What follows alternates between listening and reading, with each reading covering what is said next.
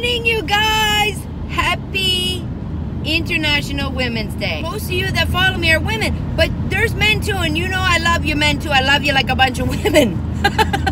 I love you like a bunch of women, and that's a compliment. Women are fierce. They're brilliant. They're strong. Can't even comprehend what these women go through, and they get up. They get up. They go to work. They they still they still rule the world. thankful for all of you. You, you guide me. You give me advice. What you do overwhelms me every day. You're like a bunch of octopus. Look at the size of that brain compared to their their body circumference. Right? It's all brain. So you're a bunch of octopus.